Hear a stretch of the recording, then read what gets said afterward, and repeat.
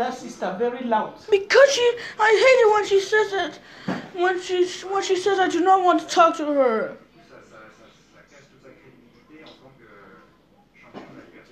And is that enough reason to shout at her?